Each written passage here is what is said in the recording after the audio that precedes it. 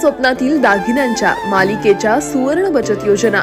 फक्त पलूसच्या चांग भलं ज्वेलर्समध्ये आता मिळवा एक हजारमध्ये दहा हजारांचे दागिने. अटी लागू. जीवनाचे सौंदर्य साजरे करा चांग भलं ज्वेलर्स सोबत. सोने चांदी हिरे खरेदीसाठी चांग भलं ज्वेलर्स. मेन रोड नागोबा मंदिर समोर पलूस जिल्हा सांगली चारशे सोळा तीनशे दहा. राहुल मोरे चौऱ्याऐंशी एकवीस छप्पन्न बारा शून्य सात.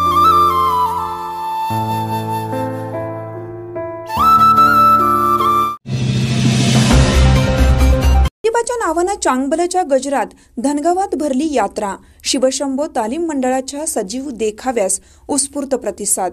शिवशंभो तालीम मंडळ धनगाव या मंडळाने साकारलेल्या ज्योतिबाची सासनकाठी या सजीव देखाव्यास नागरिकांमधून उत्स्फूर्त असा प्रतिसाद मिळाला.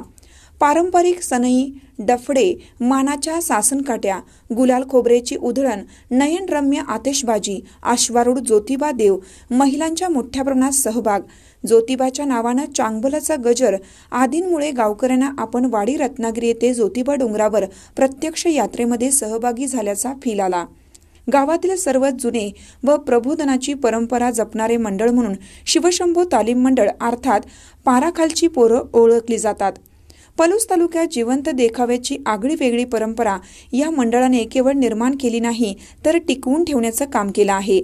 प्रारंभी बालकलाकारांनी ज्योतिबा देवाचा महिमा सांगणाऱ्या विविध लोकनृत्यांचे सादरीकरण केलं. महादेव मंदिरापासून ज्योतिबाच्या मानाच्या सात सासन काट्यांचे महिलांनी पूजन करून यात्रेस प्रारंभ करण्यात आला. बुर्ली येथील सनई डफडे पथक त्या पाठीमागे सासन काठ्या भाविक आश्वारूढ ज्योतिबा पालखी महिला भाविक अशा लवाजम्यासह गुलालाची उधळण करत शिवतीर्थ मुख्य रस्ता हनुमान मंदिर ते महादेव मंदिर अशी ग्रामप्रदक्षिणा पूर्ण करण्यात आली. गावातील महिलांनी ठिकठिकाणी पालखीचे औक्षण केले. महादेव मंदिरासमोर वाद्यांच्या तालावर सासनकाट्या नाचवण्यात आल्या. गुलाल खोबरेची उधळण करण्यात आली. ज्योतिबा देवाची आरती करून प्रसादाचं वाटप करण्यात आलं. या सजीव देखाव्यामुळे गावास यात्रेचे स्वरूप प्राप्त झाले होते.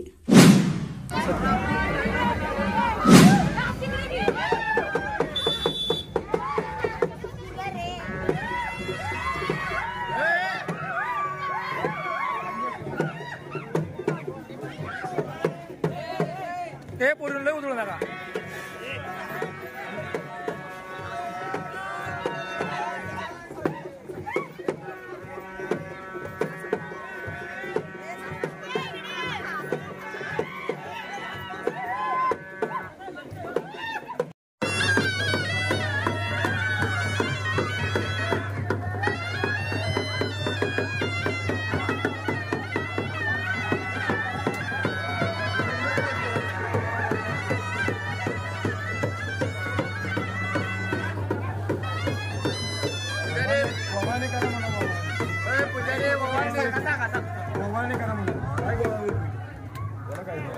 सर्वांनी दर्शन घ्यायचं आहे देवाचं.